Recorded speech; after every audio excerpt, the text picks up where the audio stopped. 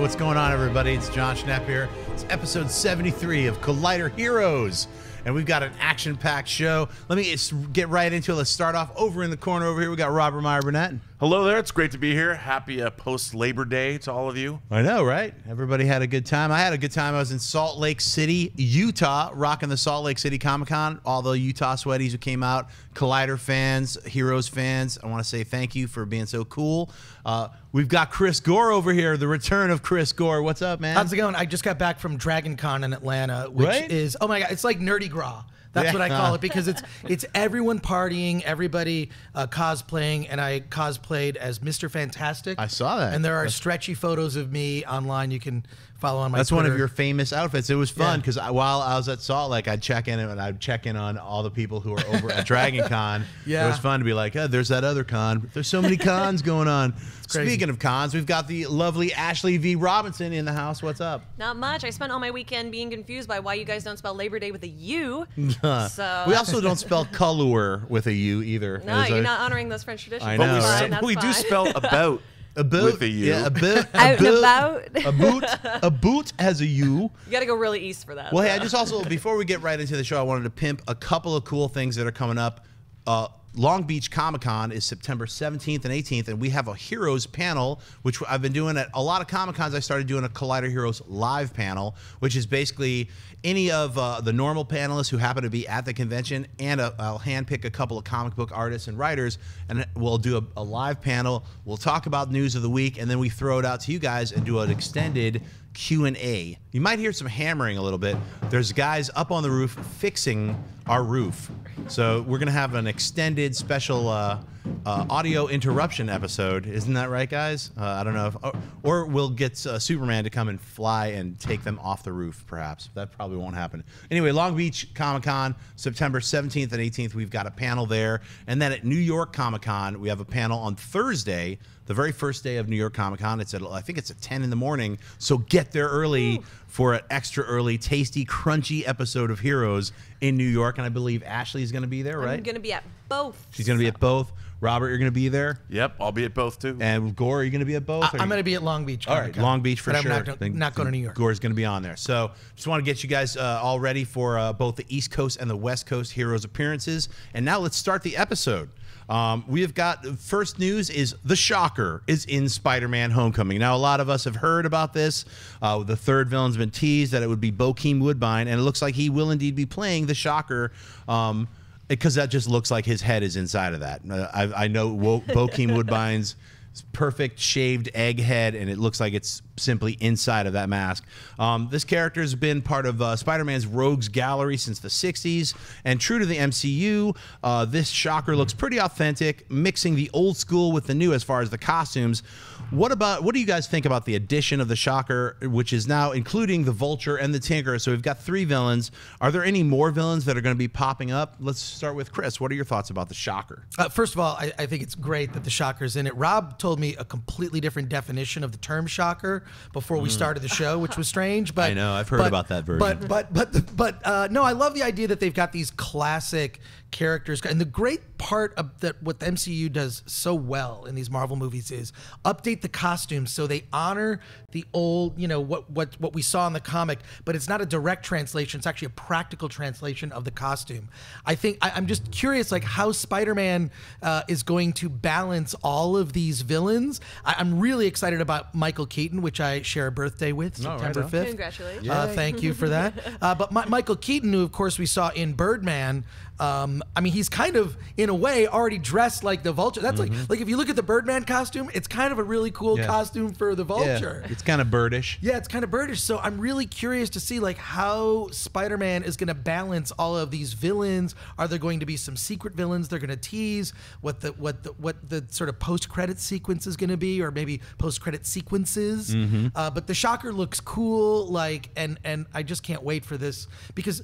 I, I, I just rewatched Civil War on, Right. on the flight to Dragon Con, and wow, is Spider-Man good in that movie? Right. He's so Those like good. 15 or 18 minutes that he's in are just awesome. Yeah, it's a great it- introduction. It's incredible just how great the new Peter Parker is. The fact that there's a hot Aunt May. right. It's just I- I'm I'm, I'm just super excited. So, Well- uh, yay for the shocker. Let's go, Ashley. What are your thoughts on the Shocker? I really like that they've clearly taken a design note from the Reverse Flash on the Flash television show. I think that's very funny. Right. Um, I'm really hoping that since we're introducing some of these, not disrespectfully, but like lower tier Spider-Man characters, that we know that we have uh, Donald Glover in this movie. I'm really Right. hoping that the Jackal thing is going to come true because I think that that would set up the miles of it all. That Totally. again is all just speculation, really nicely. But I like that we're not retreading any old villains in this, or we're not touching on any of them because I think that was a lot of the problem with the Mark Webb Andrew Garfield adaptation. Was like, well, we had a really great Green Goblin. Why are we going to do a Troll 2 version of Green Right. Goblin? Totally. but this looks great.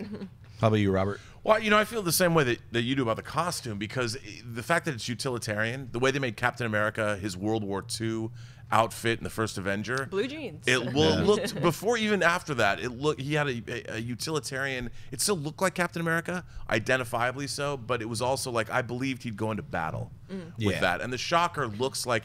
He's, he's a villain on the local level. He's Yeah. clearly not interested in world domination. Yeah. And I, and I think that's important for the Marvel universe because Spider-Man is not always, you know, looking out for world conquering villains. He's a local level celebrity and superhero. Yeah. So why wouldn't he spend time in his own neighborhood with a villain who clearly looks like that? I think the Shocker is going to be used as an introduction of starting of the film because he's going to probably he probably got his shocking device, uh, the concussion. A lot of people were like, "Hey, it's not electricity, it's concussion." Uh, the power of the shocking concussion powers that he has. I bet he got that from the Tinkerer, and I think that's how we're going to introduce Oh, the Tinkerer, cool. who works at Stark, you know, Stark Labs, and also is building that Vulture outfit. But I think the the Shocker is going to be like an introductory villain to introducing us to the new Spider-Man and a cool action sequence, and he's not going to be a big part of the plot. That's my guess. Um, but I think he looks really cool. I love that we we have that like you know that that original Shocker kind of look, but it's updated. It's a new school. So anyway, I think the Shocker is going to be awesome, but not uh, not a big part of the plot. And I think we'll see a bunch of other villains, but not too much. I think they'll be woven in pretty well. So let's move on. We've got too many Supermans, or are there not enough Supermans? let's talk about Superman, Superman, Superman, Superman. We've known about Superman appearing in several episodes of the CW series Supergirl, and now a new official pick has dropped featuring Tyler Hoechlin as the Man of Steel, standing next to his cousin Melissa bon- Benoist's Supergirl.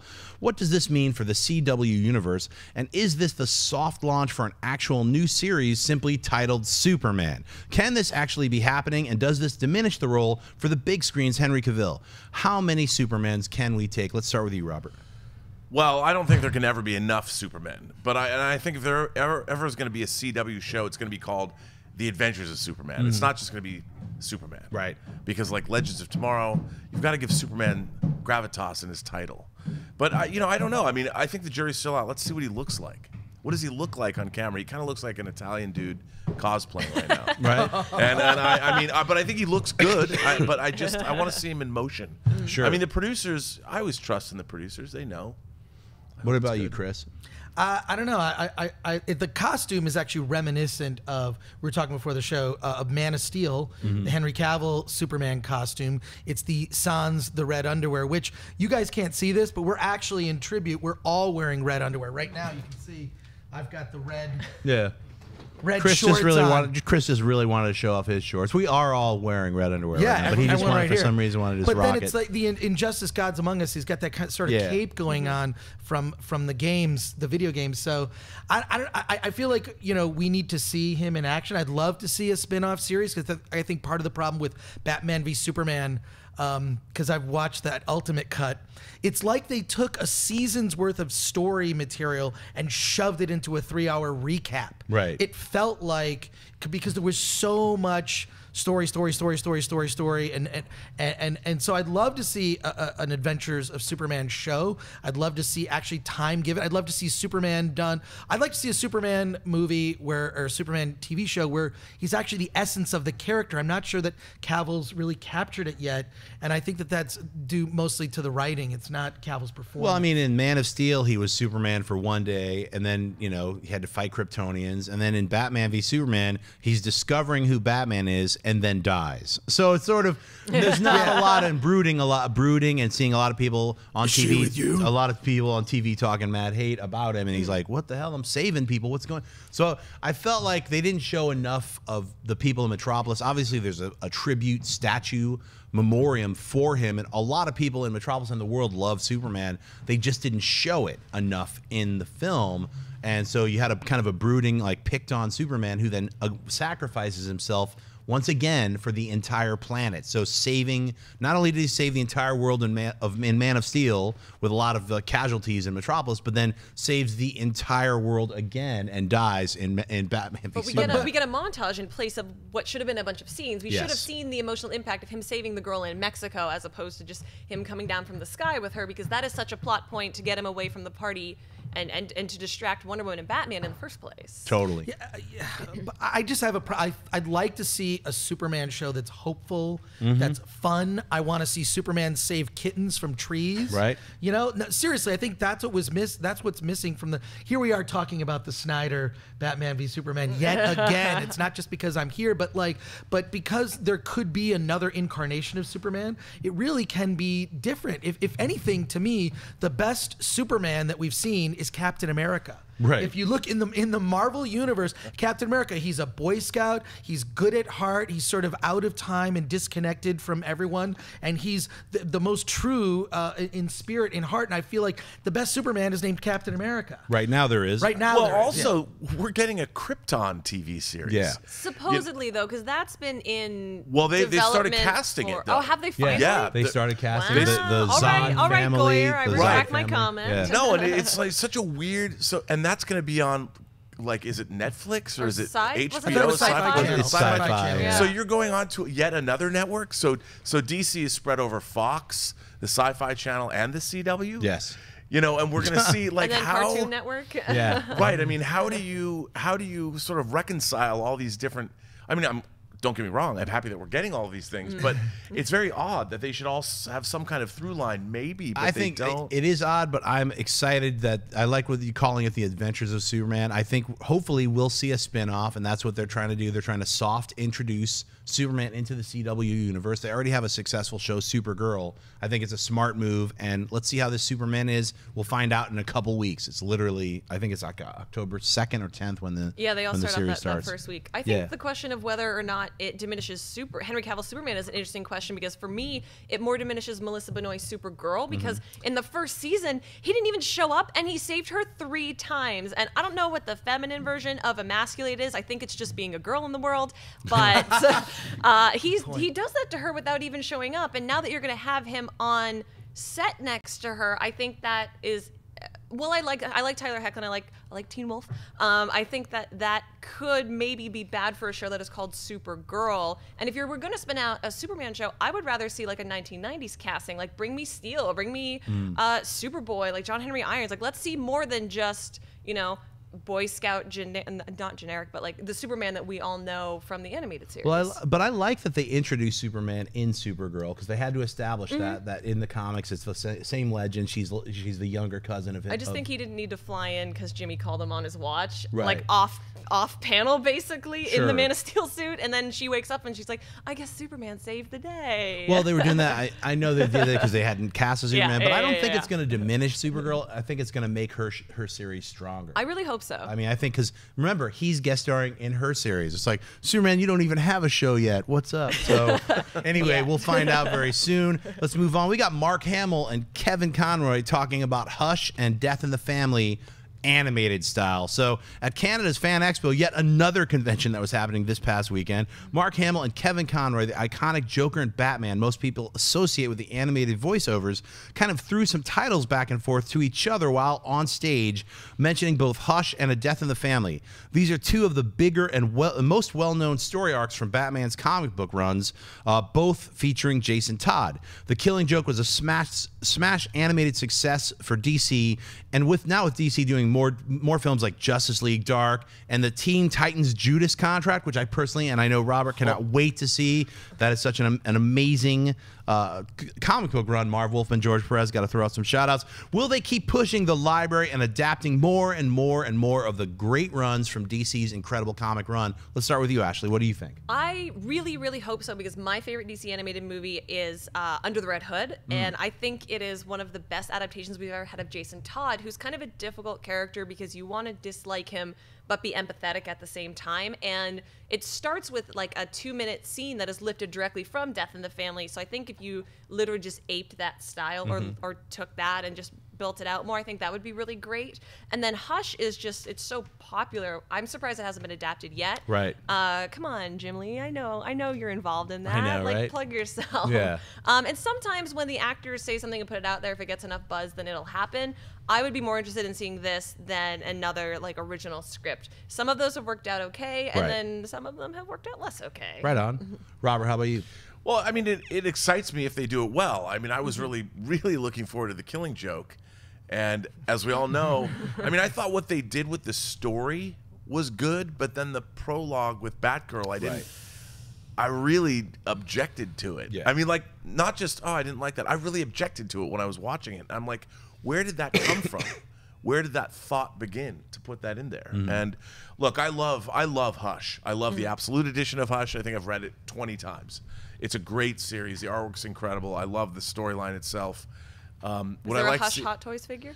there is not. There is not. There is not a Hush Hot Toys. Figure. I can't believe But- Ashley had to be the one to bring up hot Wow, I toys. mean, let's just say this is the first time. Yeah. Yes, nicely done. Thank you, thank there's you. a there's a Hot Toys of the Batman Arkham figure, Ah, Okay. So but close. you know there is not one of the Hush figures. Well, I personally hope they do adapt, uh, uh, do an adaptation of Hush, and I think that's you know, like I love the Dark Knight Returns, the two-part Oh, so adaptation, and why was it so good? Because they gave it the time. They made it a two-parter, and then eventually kind of sewed it together into one big. Incredible, well-directed film by Jay Oliva, who's a great animation director over at DC. So, I mean, they when they get it right, they get it so right. Chris, what do you think about more adaptations? Uh, there can never be enough Batman in the world. That's that's my opinion on, on that. But yeah, I'm also a big fan of that of the that Dark Knight Returns two part series. I thought Peter Weller did a great job. Totally. as like an older grizzled Batman. Yeah. I mean he, he it was great. So I don't know. And also the, the great thing is is I don't know why they're talking about you know ret- oh Mark Hamill's not going to do the Joker anymore. Kevin the, Kevin Conroy and Mark Hamill they could be doing this forever. I mean Literally like, for the it- rest of their lives. It Yeah. doesn't matter. They could do it for another 20 years. I, I don't know if you've seen Mark Hamill lately at cons and whatnot, but that guy is in shape. I really hope that we see some badass Jedi Luke. We finally get to see Luke be a real Jedi Totally. in episode 8, but but as for their voice acting, they could be doing this forever. I don't know. I don't know. Like do all of that. Do Death in the Family and Hush and everything like and more. And are we going to get a little bit of Death in the Family in the next or the Affleck standalone Batman? film? Oh, I hope so. I mean, it, it certainly want it looks so like we it seems like a little bit of I that. feel like we have to. I mean, because so many elements Mm-hmm. and just like visual, uh, not even Easter eggs, but straight up like, hey, we're looking at the Robin suit Yeah, with DC the Joker. did I mean, confirm that that was Jason Todd's suit. yeah, so I think Right. we'll, we'll be seeing a lot of really cool things happen in the it, it- farther in animated world and in the DCEU. So let's move on to what I like to call minor mutations, where we're just going to talk about some news of the week and then pick some of these uh, and, and expand and talk more about him. Number one, we got Stan Lee. Is he going to be the Watcher? He's in every single Marvel film. How can this be explained? Simple. He's either the chameleon or he is the Watcher or he is like some a scroll. That's it. He's got to be a shapeshifter or he's going to be the Watcher, like uh, the all seer kind of. I hope he's the Watcher. I don't want to see him be a scroll. Number two, we got Elle Fanning as Jean Grey in some early concept art from X Men Apocalypse. They were thinking about perhaps casting her. Um, that wouldn't have been a bad idea. Number three, we've got Suicide Squad has beaten Man of Steel at the box office with 673 million. Looks like it's going to close out with uh, 700 million dollars worldwide. Number four, we've got Ghost Riders. Robbie Reyes revealed in Shield. That's right, he's riding non-bikes. He's in a car now, just like the comics. Uh, and we number five, we've got James Gunn and Vin Diesel's special Groot script.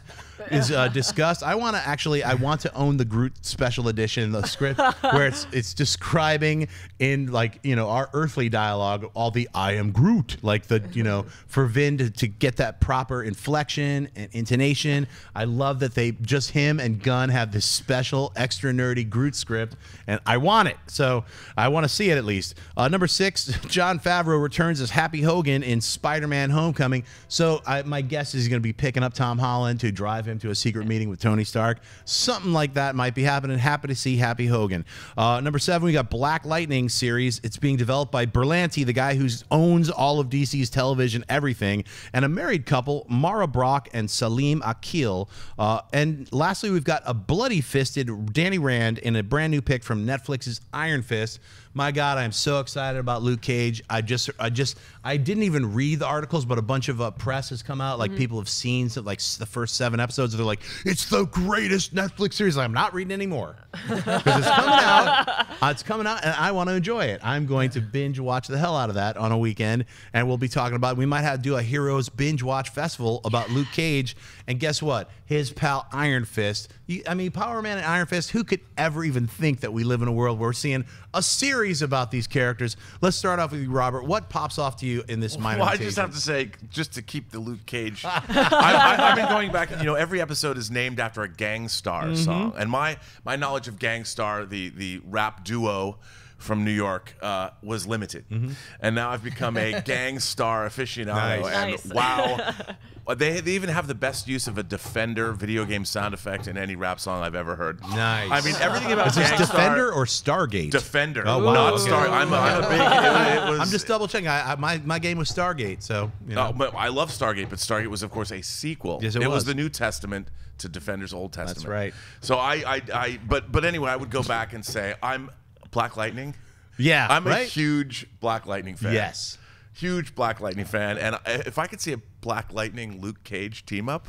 That would be I know it's cross universe. That- and all that but amalgam wow. crossover, though. I just love that, that that uniform. I love Black Lightning. Black Lightning is created by Trevor Von Eeden when he was 16 years old. And I got a chance to meet Trevor Von Nice. Eeden recently at one of the conventions and talk with him. What an incredibly talented man. So I'm very happy to see Black Lightning getting some love. How about you, Chris? What what pops off to you? I love Jon Favreau being happy in Mm-hmm. in Spider-Man, just because also Jon Favreau really is responsible for Mm-hmm. the Marvel universe being su- successful. If because if you look at it, there were a lot. We forget this. You know, we bag on DC a lot, right? Right. But we forget that. Previous to the first Iron Man movie, there were a lot of bad Marvel films. Yeah. A There were lot. A lot. I mean, you know, I buy them on bootleg DVDs at conventions. I'm co- we're covering one on today's episode later on. Yes. So. Oh my god! Yes, so, we are. Yeah, so so there are a lot of bad. So when the first Iron Man with RDJ hit, I mean that was so incredible, and Jon Favreau fought for Robert Downey Jr. to be in it, mm-hmm. and and then also you know making himself kind of a minor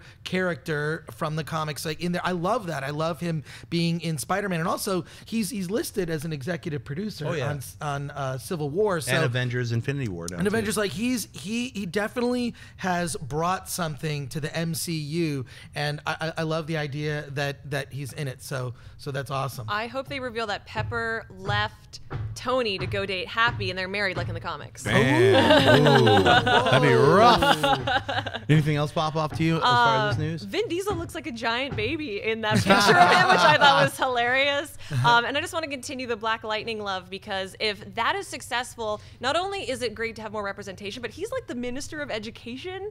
Uh, which is really cool. Like he's a very intelligent, erudite character, and if we could use that to bring some of the milestone characters onto television, like some Rocket and some Static, Sure. I think that could be a very exciting television show. I think come. that's going to be in the works. So let's hope that happens. Today's flashback, we're going flashing back to Fantastic Four: Rise of the Silver Surfer, 2007, the sequel to the Tim Story directed 2005 film, which did some okay box office with mixed response by the critics. This second film had the return of Ian Ruff- Uh, sorry if I'm going to ruin their names. Michael Yoan, Chick, uh, Ioan Gruff- Gruffudd, Michael Chiklis, Jessica Alba, and Chris Evans as the Human Torch, and as they're playing the first family, the Fantastic Four, along with the return of Julian McMahon as Doctor Doom, with the introduction of Doug Jones slash Laurence Fishburne as the Silver Surfer, and a purple fart cloud as Galactus, Eater of Planets. Uh, what uh, what is it about this incredible comic book series that the films constantly fail to get? These two films pander to the lowest common denominator, treating the audience like children with a simplistic script and horribly unfunny bits that were supposed to be funny yet fall flat every time. And believe me, I've tried to watch it because I love the Fantastic Four. This movie sucks. Force is a word that drips all over this misfire, and it only gets worse. Elements from the original Stan Lee and Jack Kirby run are repeatedly burned alive, and most comic book fans are left leaving the theaters with third degree burns. By the time the poop cloud enters the picture, you're just waiting for someone to kill this movie or yourself. Let's talk about this failed Fantastic Four sequel and why no one has gotten it right, even after four feature film attempts. I'm talking about the Corman one that no one's ever seen. I'm talking about these two poopy films, and I'm talking about Trank's, like a, you know, horror film version. All of them have failed to get the Fantastic Four, and my personal feeling, because that's one of my favorite comics, one of the first comics I read outside of monster comic books, was the Fantastic Four, is because they are not understanding that it's a family mm-hmm. that goes on cosmic adventures, and that is just the the simplest way you can do it is just read the first 65 issues of Fantastic Four, and you get that feeling, you get that, you get the fun interaction of the entire group Reed, Sue, Ben, and Johnny, and you get all their friends. And as they are introduced this, to this incredible world of all these different characters, like every issue, there was a brand new character that you know and by name uh, now that's in the Marvel uh, cinematic universe. If you haven't heard of them yet, it's not just Doctor Doom; it's every single other character. Uh, they're failing to get that cosmic adventure, that fun quality, and it's not fun like comedy, like bad jokes. It's fun adventure. So that's what I personally feel they need to get a hold of: is grab that amazing scripting by Stan Lee and that fun cosmic adventure art by Jack Kirby and their cool storytelling techniques. Get that on film, then we'll finally get a Fantastic Four that's done right. Phase four, Marvel, what's up? Robert, let's start with you. I just, I, I just, I want to give you a golf clap for that diatribe because Right that on. was that was absolutely fantastic. You know, I, I was so excited. The Silver Surfer was one of my favorite characters when I was a kid. I mean, there was just something awe-inspiring about him, and that he was the herald of Galactus. So I remember having arguments, endless arguments, with the guy who lived across the street, Sean Flaherty, about who's the most powerful character in the comic. It was always Silver Surfer. Like he could take Superman, he could take mm-hmm. Hulk. And then he would, when he shows up, then Galactus would show up and eat your planet. Like, mm-hmm. what are you gonna do? This movie utterly failed. It failed every childhood fantasy I had. It had every dream that I ever had about seeing the Silver Surfer and Galactus writ large on the big screen. It failed me on such a profound level that I walked out of the theater. Literally, I felt like I'd been gut punched, mm. and that it would, it would. I felt like a Christian who's been waiting for the second coming his whole life, and then when I finally got it, disappointing. Damn. Chris Gore. uh, the Fantastic Four is my gateway comic, and that I, I read the first hundred issues of the FF by Kirby and Lee, and that three issue arc, the coming of Galactus. Uh, I don't even think at that point I'd ever read a comic book that carried over into the next comic that was a multi-part series. It is one of the greatest stories in comic book history. Those three issues, and it's been it's so influential to film that those three issues. Um, and that was uh, Fantastic Four was my gateway comic. It made me fall in love with comics and just buy the Fantastic Four through all sorts of different ru- runs, you know, the John Byrne era and uh, among others. But but and that that particular story. So when I knew that they were going to make this and then Galactus was going to be a cloud. There were rumors at the time. I remember there were rumors early in the making of that that that Arnold Schwarzenegger was going to play Galactus in sort of a interpretation that was more closer to the comic, this sort of large purple That'd be blue. cool. That would have been pretty cool. Uh, but but we get the cloud, um, and I, I I don't believe that you can successfully. And just looking also at modern films, I don't think a digital effect is is a very effective villain. I think we learned that in Star Trek: The Motion Picture. As much as I love that film, and it's uh, uh, it's one of my favorites in, in Star Trek movies, a cloud doesn't make a good villain. I think the best Ghostbusters movie I saw this this year this summer was Suicide Squad. Also, sort of a cloud, mystical, Yeah, yeah, yeah. spiritual Right. stuff that, that I, I don't like when those rules aren't aren't explained. I mean, Galactus is a human. Galactus is a, a, a- god, right? That doesn't care about about these insect humans, right? And they, they could have brought in the ultimate nullifier. Remember, just like Nice. that. You, you need Stan Lee. I mean, the Watcher to show up. You get, you get that little click, the click, Watcher. click, I mean, click, just like, yeah. like I, I, this movie was so profoundly disappointing. I was already disappointed in the first Fantastic Four movie because it just played it so base. And Yeah. and um, I do forgive Chris Evans for not uh, dyeing his hair blonde. Twice I've had to forgive him for that. Yes. So, um, but but yeah, this this this is one of the greatest stories in Marvel comic book history, and I hope one day we actually get to see it. I think if Phase Four, if they're able to bring in the Fantastic Four into the MCU, and then and then because I, I I actually think that we're going to lose some of these characters in Infinity War, the two part Avenger. I, I really think that either Captain America or Tony Stark is going to die. I mean, uh, I, I really believe that that that they're going to. It's and it's going to be an earned death, just like Spock's death in Star Trek II: The Wrath of Khan is one of the greatest deaths in in in movie and fiction history. That death. And then the death of Spock Prime in Star Trek Beyond, he basically gets a text message.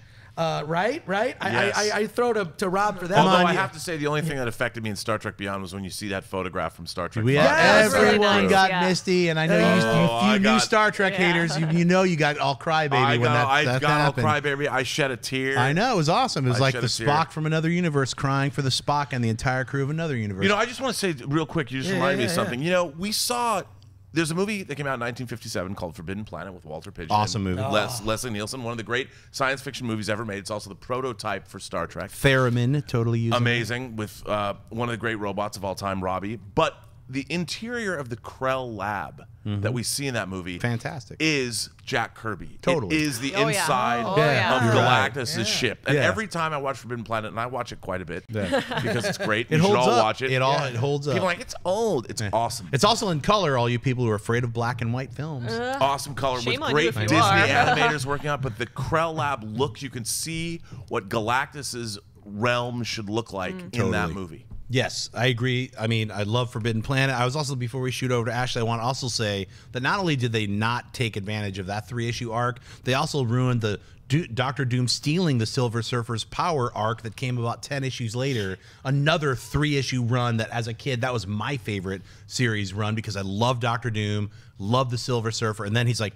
He tricked the Silver Surfer, one of the coolest and nicest guys, an alien who saved our planet and sacrificed himself. He's stealing his power so that he can rule the planet, like flying around on a surfboard. Come on, that's kind of corny, but kind of awesome. Ashley, what are your thoughts? So not only is this movie terrible, although Larry Fishburne as the Silver Surfer is great, it baffles me when uh, Fantastic Four comics are terrible because all the good ones just ape those first 100 issues Totally. anyway. So just do that. But then further to the movie, we've had great Star Trek movies, and Fantastic Four is just Star Trek with a family dynamic.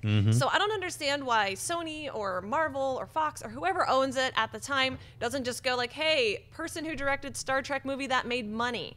come over here and do this Mm. story. Like and this to me too also illustrates the problem um, of you take a, a, a, filmmaker who has one successful indie film under their belt, and then you give them this giant property with a lot of baggage for fans and production studios attached to it, and like that movie failed.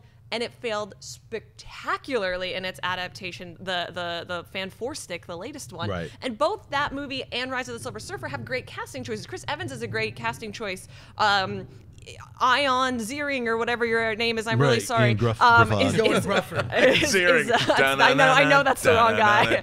Um, he's an excellent choice for Mr. Fantastic, Yeah. but now, not ten years ago. So like, there's so there's good things in there. Michael Chiklis is a good thing in there if you take him out of the rubber suit and mocap him. Mm-hmm. So it's it's disappointing too when there's elements like that that are shining through, and it still manages to be a giant poop I was going to add. I was going to add. Doug Jones, who played the physical Yes. Silver Surfer, is also a great actor, and I felt bad that his dialogue was voiced over because.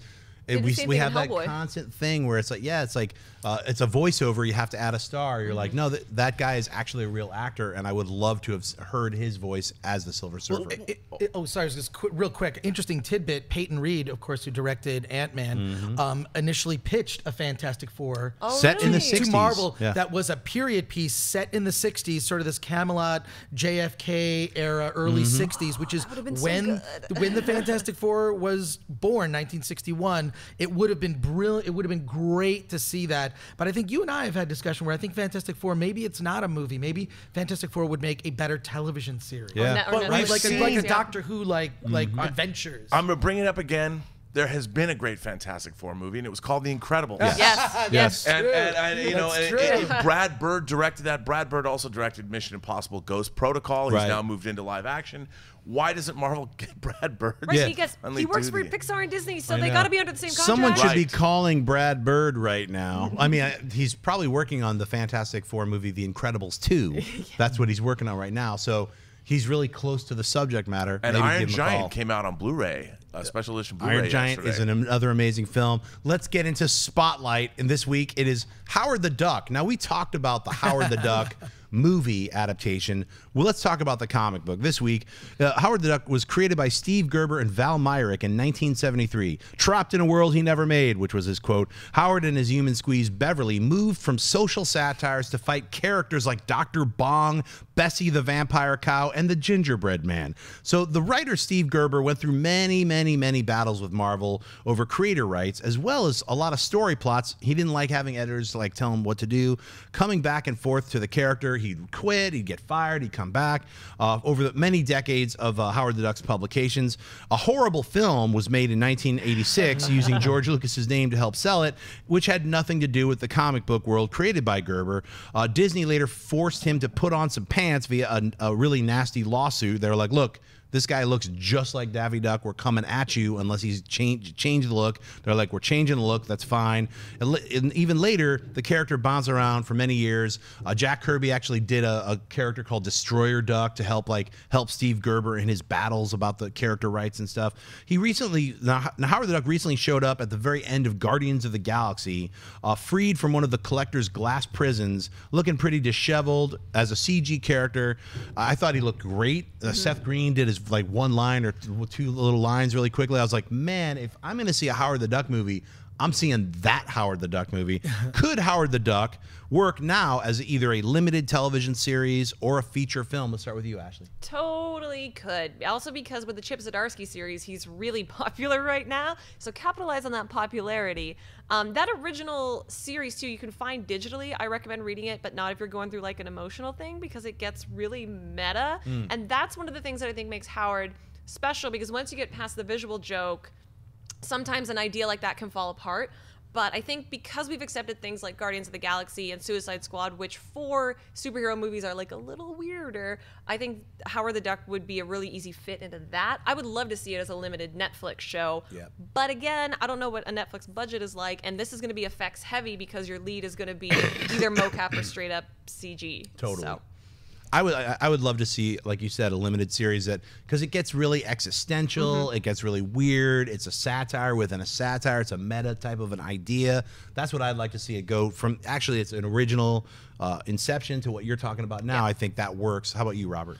Well, you know, I recently the I picked up the omnibus, the hardcover omnibus, and read Can you the imagine entire. that there's a Howard the Duck omnibus that exists Oh, and it's this great. world? I mean, it's it's it's it's a doorstop. It's huge. I think Wow. it's all of the Steve Gerber, all Wow. of them, and it's great. And I read the whole thing straight through, and I was really surprised because I had sporadically read issues, but it is a very meta and very existential and very emotional series, which mm-hmm. I was surprised by.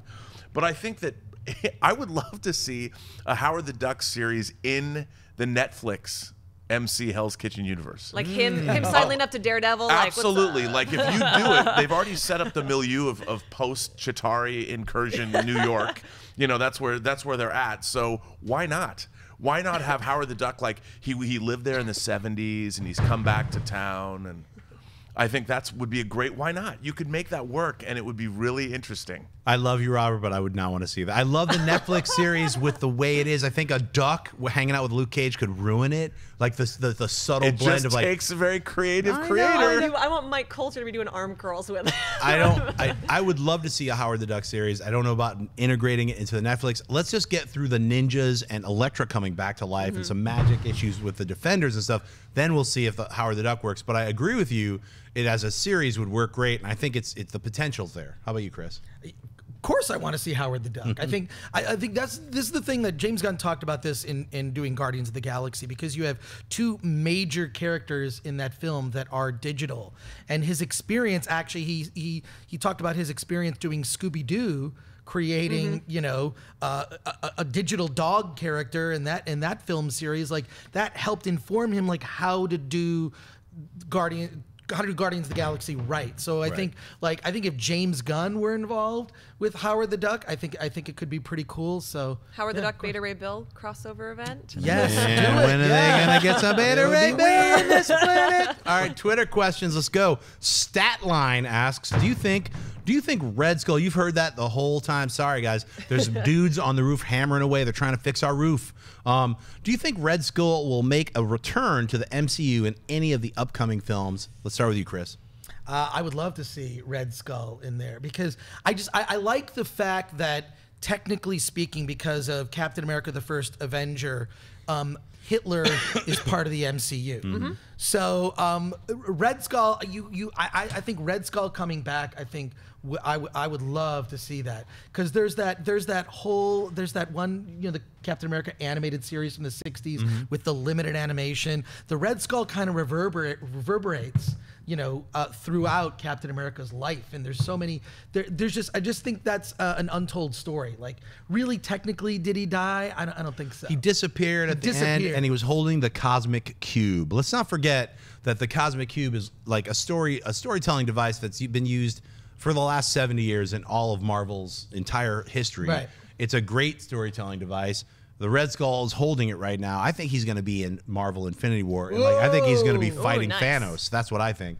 And speaking of, I'm really happy to read recently that Thanos is going to be an actual, uh, not a CG animated suit. They're going to actually, they're making a fully fabricated outfit, so Nice. he'll feel like a more blended character. If you if you actually look online, someone I think it was some uh, Hollywood makeup school here. it's Ironhead Studios. It's Ironhead actually Studios, yeah. It's a it's a, uh Fernandez, one of the great uh, special effects guys, Jose Fernandez. Who that's his studio, and he built the X Men, Magneto's, uh, Batman's armor for Bat. He's like he's done every single superhero film and outfit. So if you're gonna have anybody build a physical suit, that's the studio to get. Yeah, no, sure. I, I love that because I just think you can only go so far with digital characters or clouds and whatnot. I think there's no, I'm serious. Like, I do think that like at, at a certain point, it's just like an actor is more effective. One of the Yes. greatest villains in in film history is Ricardo Montalban as Khan. Yes. and I think that Star Trek's always the Star Trek films. I'm not just saying this because Rob is here. The Star Trek films, they've Star always, Trek sweaties. Star Trek sweaty. Um, you know, they've always tried to like we want to do someone as good as Khan. They even brought Khan back. John Harrison, lame. Um, and they, they you can't outdo that performance. I think you underestimate how great an actor's performance can be. I mean, Loki, I think, is probably the best villain in the in the MCU. That's why he's the only one who doesn't die. Yeah, exactly. But also, smart, yeah. it's an actor in a costume, Right. and it works. Robert. Well, I mean, look, I, I, I think that uh, it is the Infinity War, like you said, and the Infinity War insinuates that it's all of creation, all the multiverse. So, how can you not bring Hugo Weaving back? Although I've heard Hugo Weaving has said he didn't want Un- to come back. unequivocally, he will not return to the role. And Marvel doesn't like to recast. But yeah, but here's the thing: if it's the mess. Red Skull and we don't see Hugo Weaving's face, True. I mean, maybe they can get him to do some dialogue. I don't know. that'd be cool. But but like you said, I mean, I agree with you, Chris. I think that we want to see faces. I think the best CG character is still Gollum Mm-hmm. in in Oh, Two yeah. Towers Yeah. because you really got a feeling and seeing the the before and after. If you look at the special features on the the, the Blu-ray, you really get a sense that it is Andy Serkis that you're watching. Mm-hmm. And even when he does people like Snoke, it's not the same. You need a director and an actor Right. who really know how, like James Gunn knows how, to employ a CG character. Well, I think any of the new, with Andy Serkis, especially the new CG characters, you need the animation crew, you need the director, and you need someone like Andy Serkis. he has his own to- studio now. Well, that's good because Mm-hmm. he's he's at the forefront of this technology, and I think he's one of the greatest ones. How about you, Ashley? Um, I think that the Cosmic Cube idea is very interesting because in Ed Brubaker's 2005 Captain America, that eventually led up to reintroducing the Winter Soldier, the Red Skull uh, recompiles the Cosmic Cube, and that's kind of what sets off all of those events. So that's something that we've seen in the comics before that I think would be fascinating to revisit. And if Hugo Weaving doesn't want to wear the mask, just call up Andy Serkis and get the mocap. They worked on Lord of the Rings together. It'll be okay. Yeah, I don't think I don't think we're going to see the return of Hugo Weaving. And to, to touch on something earlier, you said like I don't think Steve Rogers, Chris Evans is not going to give up Captain America. He is going to do another four, five, and six. He is Captain America. That'd be the worst career decision any actor can. It's like he can go off and do like three independent movies and return to some mega million box office, mm-hmm. amazing phenomenon where everyone loves him because he he is Steve Rogers. He And is like can the play, truest um, he form can play of that. Old Man Cap now in the Dimension Z storyline. He can play Captain America forever, as far Yeah. as I'm concerned. I hope he does. Let's move on. Muhammad Hassan Ali asks if MCU's Black Panther is going to use Storm. Do you think they'll cast Halle Berry or Alexandra Shipp from X Men? Well, I'll start off with this one. Absolutely not. Um, number one, uh, Storm is currently, unfortunately, part of another uh, studio. They, the you know, the character is owned by this other studio, Fox, and I don't think that the crossover is going to be happening. So, and if they did have Storm, they would cast a totally different actress. What do you think? It. Uh, absolutely not. And Halle Berry Storm is terrible, so please, God, no. Um, I think it would be way more interesting to develop the female Black Panther, T'Challa's sister, as opposed to retreading old ground that we've seen for six movies Mm-hmm. now. And Storm has never been a breakout lead of that franchise, so I think that the general populace is maybe not interested in her as much in in a more developed capacity. Um, I also think that you're never going to get him away from Fox. so. right. Well, I think Storm, if they did a television series, would be an incredible, very strong female role if they did it right and they wrote it right. Yep. Robert. Yeah, I mean, I don't think that they're gonna. Even if they could get Storm, I don't think they're gonna put her in the Black Panther movie yet. I mean, they'll do if anything. If they're gonna have a love interest, it's gonna be like Ant Man. You know, you set up the Wasp as a strong female character first in one movie, and then if they're gonna have a relationship, we don't know what's gonna happen in Ant Man and the Wasp. But give it a give give. Black Panther needs and deserves his own movie. There's a lot of mythology too in, in Wakanda and what that implies. Right. Totally. Chris. Uh, yeah, uh, um, first of all, I agree with what you guys said. I mean, like he's definitely Storm is not going to be in Black Panther, but but um, I, I think uh, with regard to the X Men franchise, I think they've gone as far as they can go with these movies. I think that uh, the X Men universe is so rich with characters and great storylines that it can only really be told in long form storytelling. I don't know that movies are the best format. You know, it might not be the most profitable. I would love to see an ongoing X Men television series where you could go off and do like a, a Jubilee episode or like e- explore these other, you know, minor um, X Men characters. I'd love to see like New Mutants. Right. I mean, that, that early, the early I- issues of New Mutants are just incredible. The artwork is just Bill ins- Sienkiewicz Yeah, Bill killing. Sienkiewicz is just it's just insane. So I think that what you could do with an ongoing X Men television series is just more exciting to me than a movie every three years. Just isn't enough. I feel like they rush all this. They're they're rushing all this stuff, and you know, with all due respect to Bryan Singer, I think he's gone as far as he can go with the franchise. How about you, Robert? Well, I mean, I, I look, I agree with that as well. I mean, I think it's time to change it up Mm-hmm. a bit. I mean, i i we've seen. Uh, look, as much as I love, I do love Bryan Singer's X Men movies, and I continue to love Apocalypse. Uh, a lot of people don't. Mm-hmm. I, I think the first half of Apocalypse is a terrific X Men film. Yeah, and the last half sucks. Well, the, I, I Yeah, think but you the get a really half- cool fight. Yeah, you get a you get a world destroying villain. You don't understand really what he wants. That's or all I'm his- saying. Is like the point build up of X Men Apocalypse is fantastic, and I love the introduction to all those new X Men. I thought, uh, wouldn't it be great to see all those new X Men? And then we have to watch like a dirt cloud of magnets and stuff. For Well, like, again, Yeah, we go yeah, back yeah, to the yeah. old the old cloud. I know, I know. It's the old cloud. But uh, Alex, what do you think about Storm? Let's get through that. Well, no, she's not going to be Yeah. in. She won't be in the new Right on. I Black just Panther movie. let's. I don't want to because we could talk about X Men all day. Let's get to the next question. Tahari asks: Is Batman '89 the only time only time a film has gotten the look of Gotham right? Let's start with you, Robert. well, you know, I didn't like the look of Tim Burton's Batman '89. I mean, as much as I liked I'm Anton. I, I- yeah, I love. Anton Furst as a production designer. Rest in peace. He was great, but I watched that film, and I think what has made the MCU so successful is that we, as audience members, want to see superheroes interacting in this world, Right. the world we live in. We want to believe that if we look out a window and Superman flies by, we want to see in the movies what that would look like. Mm-hmm. Because we want to imagine ourselves living in a world where there are superheroes. The Tim Burton Batman, I don't know where that took place. It took place in some alternate universe where I had never been. Mm-hmm. And and that kept that that uh, until Christopher Nolan came and set it in a real American city, which I loved. I mean, I love seeing Well, Chicago, Detroit, you know, Yeah. wherever. but I- but I think though the the feel of it, it Mm-hmm. felt like a real city. And while look, I, I am not a big fan. I like Batman Returns a lot better than I like the first Batman. I think Mm-hmm. it's very lethargically paced. You watch it now, and it's really there's cool imagery in it, but man, it's a slog. Um, but yeah, anyway. How about you, Chris? 89 Batman is overrated. I'm sorry. The, the the best thing in that is Michael Keaton as Batman. Mm-hmm. But when you look at when you break it down from a story standpoint, the, the hero's journey is Jack Napier. Right. He's the character that changes. You see the his origin. You don't see Batman's origin is told in a flashback as a throwaway at the end of the film. So I'm I'm as a huge Batman fan, I am not a fan of that movie, Mm-hmm. and I don't like the look of Gotham. I think Gotham looked best in The Dark Knight by Chris Nolan in Chicago.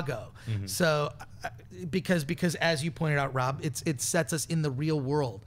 So yeah, I disagree with the premise of that question to begin with. I, I will argue both you guys and also agree with both you guys. I love the premise of Batman in the real world in Chris Nolan, but I also love the premise of what Burton was trying to do with like getting that lyrical Bob Kane primitive art style and taking that to its full and also even Frank Miller's his version of Gotham is what they were trying to go for. They were going for a meld of hyper real, non real. So that's what I mean. I think Batman and even Batman Returns had that. Let's not. Schumacher went with the statues and a lot of even more over the top stuff, and that's why we needed to kind of like tear all that down and get back to what we got out of uh, Chris Nolan's Batman, which was a more realistic Batman. I agree. I like that Batman too, but I also like the Burton Batmans. How about you?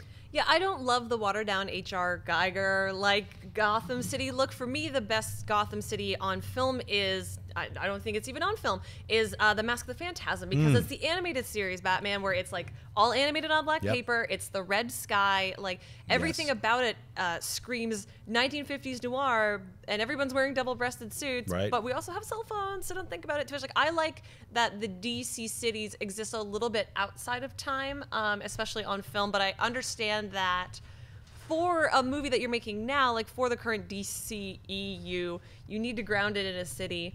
Uh, Detroit, I think, is an interesting choice. I don't, I don't love the. Um, the sister cities that they have going on right, with, Gotham uh, with, and with Gotham. Yeah, it's weird to me.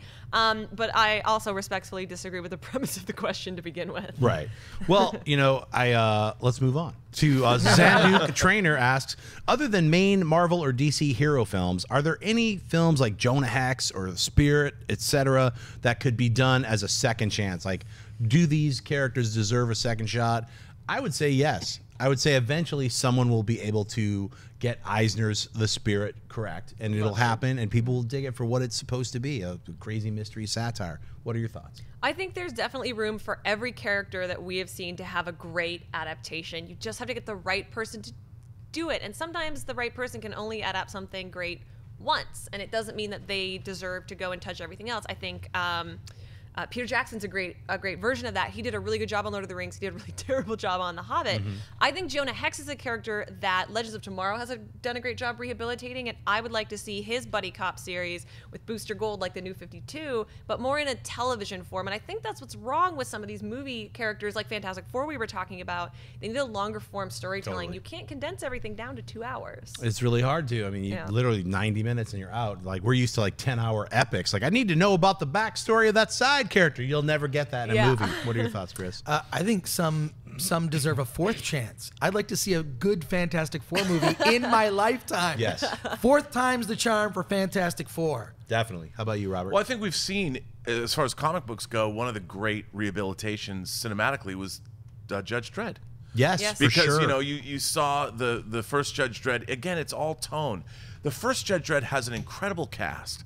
Jurgen Prochnow. I mean, you've got Armand Assante. Totally. You've got Diane Lane. You've got Max von Sydow. But the tone of that film was all over the place. You've got Rob Schneider. Well, that's again, that's that's a problem. Yeah. It should have been RoboCop, and it wasn't. You Right. know, RoboCop had the perfect tone of Judge Dredd. But then when Carl Urban came and they, they made the 3D Judge Dredd with Lena Headey as the, the villainess, Alex Garland writing it and was- producing. and the 3D in that film, that film fantastic. because they nailed the tone. They brought back. I would love to see Judge Death hmm. I want to see the supernatural version of the Judge Dredd characters in that milieu. in Well, we have not given up on Carl Urban as No. Dredd in a series. Come on, streaming services. What's wrong with Got you? those Netflix Um. I do want to point out Mask of the Phantasm is an incredible, another incredible animated feature film that DC did that is one of the best Batman films oh yeah. ever made. So you got to check that out if you haven't. We'll cover it in an upcoming Heroes. Sweaty question of the week comes from Nart Sasoroqua. Whoa, I'm ruining your name. Sas- Sasoroqua uh, with a Q there, right? Um, over or under 50% the chance of Beta Ray Bill, you spelled it wrong, but I'm not going to kill you on that, being introduced in Guardians of the Galaxy Volume 2 or Thor Ragnarok.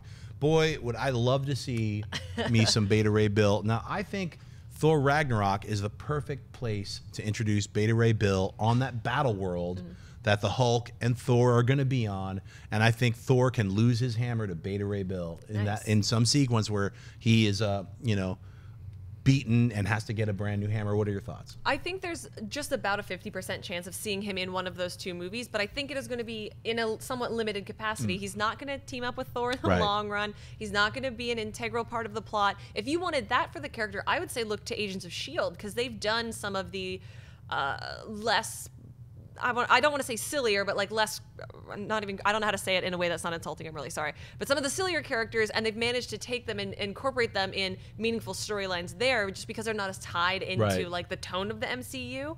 Uh, but I would love to see him. I think I'm going to give it a 60% chance that he's going to show up in Thor Ragnarok, only because they're also covering the Surtur storyline. That's true. And that is where Beta Ray Bill is introduced. They have a battle. Thor changes. He loses his hair. We don't know what's going to happen. he's wearing some like Braveheart out. You know, you know, we- if you haven't seen, unfortunately, a lot of people haven't seen the Hall H footage, which I did. So let me just tell you, it's pretty awesome. um, you get to see a, chan a shot of Thor of Hulk jumping at a giant-sized Surtur, and I was like, I thought I was going to die. So, what are your thoughts, Chris? Uh, my thought is Fifty percent high highs. Uh, is he going to show up? I- i- if if uh, if I'm a betting man, I, I, I'm not good at betting. I think we've learned that, so uh, I'm not gonna take a bet. But I, I think I think definitely he'll he'll be in it in uh, probably in Thor Ragnarok. Right, and like more like more so what. Ashley is saying, like maybe a smaller role. How about you, Robert? I think absolutely. We're dealing You're going with 100%? Well, I'm going Bam. 100%. I'm going Bam. 100%. Make a bet. Thor Ragnarok is uh, it, it, it, Beta Ray Bill is 100% going to be in Thor Ragnarok. Now, I have not read the script. I don't know anything. This is a guess. I'm guessing, but look at where we're look at the, the people that are making this movie. Right. First of all, the director of this film has a great sense of humor. If you've seen his New Zealand work, if you see What We Do in the Shadows, it's it's one of the great vampire movies of all time, even though it's a comedy.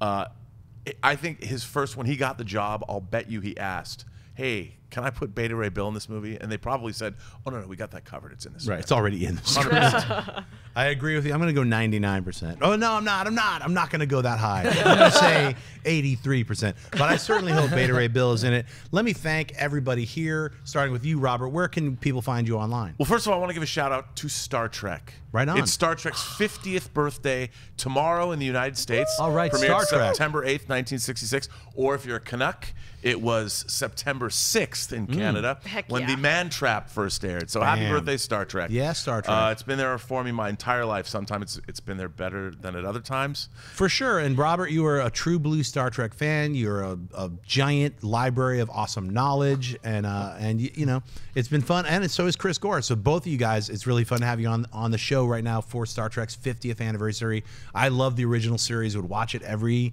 every day. It was on every day. It was Uh, on. and it's in amazing- East Coast WGN. I think it was at six o'clock. Star Trek. You know, we saw Bond celebrate its 50th anniversary. Mm-hmm. We have Doctor Who is 50 years old. So these great venerable franchises, these sweaty, nerdy franchises that made us, that forged us who we are Yes. today. So that's a great, that's a great, Yeah. uh, it's a great birthday. And there's been a lot of great Star Trek comics. IDW continues to publish great Star Trek comics. Pick them up. But you can find me uh, on Twitter at Burnett RM or on Instagram at RM Burnett or on Facebook at Robert Meyer Burnett. Right on. Chris Gore. Where can people find you? what are you up to right Well, now? I, I, I want to echo what you said about Star Trek. I, I just wrote an article for a website called waywardnerd.com 50 ways to celebrate Star Trek's 50th anniversary. And it's just a list that I compiled of cool Star Trek tours and events and, and stuff that you could do. And, and I hope you check out that article on waywardnerd.com. And also, I'm uh, running a Kickstarter campaign right now to bring back Film Threat So you can go to filmthreat.com and the rewards we're offering DVDs, an exclusive t-shirt designed by Chris Prinoski of Titmouse Animation Studios, and also some of the rewards are original art that were in old issues of Film Threat magazine. So stuff that's worth way more than than what the donation is. So I hope you go check it out at filmthreat.com and you can so you can find me on Twitter and and Instagram at that Chris Gore and I'm uh, I'm imminently Googleable. Uh, but just seriously, I really need the help. We're, we're actually doing well with the campaign. We're about a third of the way there with like, you know, two and a half weeks to go. So it looks like we'll make it this time. So check it out. And once we get to 50% funding, I'm going to release the trailer for the Film Threat documentary that um, a group of filmmakers have been working on for over a year. It's pretty cool. So I've seen thanks. it. It's I've I've seen it. It's great. I fully support Chris and Film Threat. Film Threat. Uh, I met Chris back in 1994 when I was showing uh, my uh, original comedy sci-fi film that I've never released. Which You have to release I am it. going It's to so release it. I'm releasing it next year. It's called Mad Science, and Chris Gore saw it, and uh, we won. He was one of the judges, and we won the very first year of the Chicago Underground Film Festival as best short film. I believe that's, and that's how I met Chris Gore, and it was because he was running Film Threat, and I was reading that magazine. So if you have never heard of Film Threat. Check it out. It's a it's a it was an incredible magazine. It turned into a digital thing. It's a you know filmthreat.com. It's an archival unit, and that's what he's trying to keep going. Is if just like if anything, if even if you're broke, put in five bucks. I think everybody watching this put in five dollars and help get the uh, website so that it can main, be maintained. That's all he's trying to run. That's what he's trying to raise the money for is to simply maintain the archival unit of Film Threat and then move forward and maybe have some new reviews, have new, some new things. But that's what I think is the most important thing. Is a lot of people are like, I don't have fifty bucks or hundred bucks. Put in ten dollars and just help make Film Threats keep it alive. You know, if I could say something to that, the first review I ever received, I, I made a short film called The Sacred Fire with Peter Billingsley from uh, A Christmas Story. Nice. And the Film Threat video guide was the first review I ever received for any of the work that I had ever done. And it was it was hugely helpful to us as young filmmakers. And uh, we were able to, to parlay that review into another film. It got us funding. Nice. That was It was because we were in Film Threat. So bring it back. Young Yeah. filmmakers, support. I think it's a, a very important thing. So definitely go to filmthreat.com. It'll it'll lead you to a Kickstarter. Chuck in ten bucks. Ashley, where can people find you online? And you've got a very special event happening this weekend with I perhaps do. somebody. Maybe you don't want to hear about that though. Yeah, you we want to wanna go. Are you kidding? What- what Sweaty's is it? everywhere. You're their Yeah. dream girl, and this is the most romantic sweaty event. It is. uh, maybe When is this it? year. Let, us just I'll, I'll so Jason Inman, who's also been on this show, and Ashley V. Robinson are tying the knot this weekend, and we are very happy for both of you. Thank You're you. great, great individually. You're great as a couple. We think you both rock. So we're very happy for both of you, and that's I didn't I didn't want to embarrass you on the show. We're not trying to. We're just saying we think you're both awesome. And where can people find you online? Well, if you want to support both of us, you can check out our 30 part Star Trek web series at theredshirtdiaries.com. Nice. It's all completed, it's all up there. Uh, you can find me on Twitter and Instagram at Ashley V. Robinson. And then if you want to support me and Jason again, uh, go to your local comic book store and pre order the Alterna Comics If anthology. We have a story in it called Terrific. It's the first story in the book, so you don't have to read anything else. Awesome. well, thank you guys. It's been a great panel. I'm Jon Schnepp. You can find me on Twitter and Instagram just at Jon Schnepp. And like I said, we'll be at the Long Beach Comic Con. We'll be at the uh, New York Comic Con in October, and then we'll be at Comikaze back here in LA. We're going East Coast, West Coast, East Coast, West Coast. We're going all over the place. We'll see you next week. Hey guys, if you like this video, click the thumbs up button. Also, make sure you subscribe to our YouTube channel. It'll help you stay up to date with everything we've got going on here at Collider.